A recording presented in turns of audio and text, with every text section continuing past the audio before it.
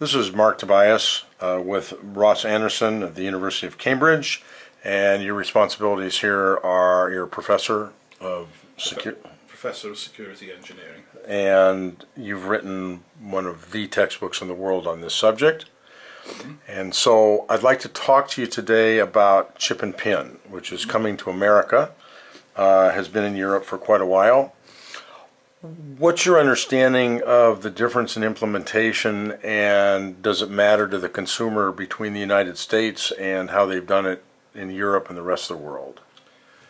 In Europe and much of the rest of the world, um, consumers have been moved from using a magnetic strip card with a signature to using a chip card with a pin. And this has been accompanied by a liability shift. What happened in Britain, for example, and also in Canada, was that the banks changed their terms and conditions such that if a merchant um, had a disputed transaction and that transaction had been done with a signature, the merchant would be liable, whereas if it had been done with a pin, the merchant would not be liable. So this um, basically moved the merchants to go and change all their terminals to um, pin terminals. The problem was that if a transaction was disputed with a pin, then the bank would turn around and say to the customer, sorry, our system is secure, so it must be your fault. Now, there are all sorts of ways in which chip and pin transactions can still be subject to fraud, and in many cases the liability ends up being dumped on the cardholder. Now, in America, the Federal Reserve has refused to agree to this kind of liability shift, and so my understanding is that many banks, when they de deploy EMV cards, chip cards, they'll be deployed as chip and signature cards. So you'll get a card that's harder to forge, but you will still sign for goods, at least in many stores. So then how do you use the wireless point of sale terminals that are so prevalent in Europe? How do you implement that in the US? They still have to print the copy and have you sign it? What happens with the um, contactless point of sale terminals is that these are typically used for small transactions. In the UK the limit is £15 and you don't use a PIN at all. So all you do is you take your card or you take your wallet with a card in it and you just tap it against the payment terminal in um, the local sandwich Right. bar or whatever and it takes your £4.95. So, but let's say I have a hundred dollar dinner bill. If you've got a hundred dollar dinner bill, then in Europe you can't do that by means of a contactless payment. What you can do with contactless is get your um, your card details across to the terminal. Um, in America, my understanding is they'll then ask you to sign for the um, uh, for the dinner. Um, in Europe, what typically happens is they make a chip and pin transaction, where you enter a pin directly into a device carried by the waiter. So Ross, I take my American Express chip card from America and I come to England. The pin that they assign me for that card, then I'm assuming it does turn into a real chip and pin. If you've got a pin on the card, then it would be used as a real chip and pin um, card in Europe. Um, that's assuming that you're using the pin. If you use the pin, for example, in, in ATMs, then that would be a live pin and that would be used for transactions in Europe. So, the, is the whole world essentially going to be universal in chip and pin when this is all done? I mean, America's the last, North America's the last holdout. Well, Canada has gone to chip and pin along the same lines as Europe because their regulators allowed the banks to change the terms and conditions and all the merchants. Um, the USA has, is an interesting holdout because America's got a, uh, the USA has got a long tradition of good consumer protection in banking, which has actually stood America in good stead because it's what facilitated electronic commerce. If you go and use your credit card online and somehow it gets stolen online and you get things on your bill that you don't recognise, you phone the bank and tell them to take them off. It's the bank's problem, not yours. This is great because it meant that electronic commerce could roll out in America without people getting too anxious about fraud. So, as a consumer, uh, I mean, I was issued a chip and pin card a couple of years ago by diners out of Canada, which makes it a lot easier to pay for things in Europe. So, to the American consumer who's reading this, what do they care one way or the other, or do they? Well, if you don't travel abroad much, then you probably don't care very much one way or another. Um, what could be interesting is if we start seeing competition in America between different um, card service and payment service providers like we now have in Europe. So in Europe, for example, um, you may be charged extra to use a credit card or get a discount to use a debit card. And this is beginning to bring competition into the payment card industry. That could change quite a lot. And competition in the payment card industry isn't just about cards, it's about phones as well. Um, for example, Google has launched a mobile phone wallet in America, and by way of full disclosure, I um, helped work on that. Whereas in the UK, you have got apps from various banks which enable you to make mobile phone payments out of your bank account directly into somebody else's bank account. And by enabling payments to run on what are in effect direct debit rails, this means that the cost of the payments becomes lower, which means in turn that you may get discounts. So this becomes somewhat like an ACH transaction. Exactly so. For example, um, Barclays is a pioneer in Britain with what an app that they call Pingit, and um, you use this to send money from your mobile phone to another mobile phone number. And Barclays have got a list of everybody in the UK and their mobile phone numbers, so they can link up to the bank account of the payee. These are postpaid numbers, not prepaid. Um, these can also be prepaid numbers if you're using the same prepaid number and the bank has found out who you are uh, and you've filled on the appropriate web forms then yes indeed you can send money from and receive money at prepaid mobile phone numbers. And if I get money into my phone, then can I transfer that to my bank account so I can turn that into actual money? That's the idea. If you receive money at a mobile phone that hasn't been used in such a system before, they basically send you an SMS saying go to our website here and click here, fill in your bank account details, and we'll send you the money that you got. Wow, clever. So obviously there's a security difference between magstripe, which is 50-year-old technology, and chips.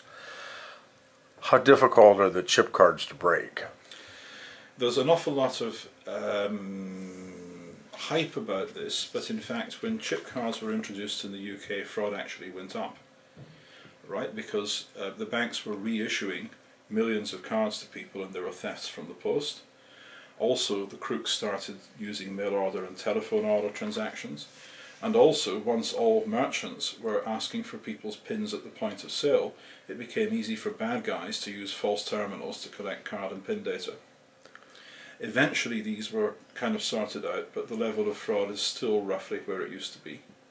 And there are some interesting new tricks that have come out. So there was a huge breach of security, as you're aware, at Target stores, like 40 million credit and debit cards. And I believe they hacked into the system in order to steal all the credit card numbers. Is that kind of problem going to be alleviated with chip cards or it's still the same problem. Once they have the credit card number in the clear, it doesn't matter. It's still the same problem as far as transactions made by mail or telephone or the internet are concerned, in that the physical card doesn't take any part in the transaction other than a means of reminding you of what your card number is. And so changing the card technology doesn't change anything at all. Now, preventing mail order and telephone order fraud is about intrusion detection systems run by firms like FICO, for example, who screen billions and billions of transactions for the banks and look for anomalous patterns of abuse. So, is the if I want to clone, if I'm a bad guy, like we've had many instances of recently, I want to clone a card or skim a card can I do that in the same way from the I, information from the chip? I mean, obviously from Magstripe it's easy. Yes. What about from the chip? It's in theory possible to clone chip cards, um, but the equipment is expensive and the process takes time and money. And so what happens in practice is that a bad guy sets up a terminal in a store or hacks a terminal in a store so you can collect card and pin data and he then makes a magstripe card using the data stolen from the chip. Now, all chip cards still have mag stripes as well, so that they can be used in fallback magstripe mode if the chip isn't working, right. or if you're in a country like America that doesn't use chips yet. And so the big game in the UK is that you put skimmers on cash machines, you steal information from chip cards, you observe the pins that people enter at the ATM pin pad, and you then send that to accomplices in America who make up mag stripe cards Right. and use them in American ATMs. Can you do that? But can you do that same process with chip cards? Can I take my the number imprinted, for example, on the front of my card? Is it the same credit card number that's encoded in the chip that's encoded on the mag stripe that's encoded on the front of the card? You need extra information to make a chip card because the chip not only has your account number and expiry date in it, but a digital certificate, which is a, a, basically a, a cryptographic checksum produced using the bank's private key on your account number and your expiry date and other data, and that can be verified by a terminal at which you present it. However, once you have seen somebody's card and read it electronically, then you know what the value of the electronic certificate is, and you can put that in another card, right, which you can then um, use to take money. This is called the yes card attack. Now, this only works when the merchant terminal is offline, because when it's online, there's a cryptographic handshake takes place between the card issuing bank and the chip card to verify that the real live chip card is there. There are attacks on that too, but they're but they're more complicated. So the, the the reality is, if it's digital, at the end of the day, it's really not secure. It's more secure than MagStripe, but it's much more complex, and so there are many more things to go wrong. For example, we discovered when a guy came to us and complained of phantom withdrawals from his account in the Canary Islands, um, we found that um, the ATM was generating random numbers for use in the authentication protocol, which weren't random at all. Um, the ATM was essentially using a counter, and this meant the random numbers were predictable, and this meant that um, somebody who had had temporary access to that chip card could have generated the authentication information to use a clone card later at an ATM.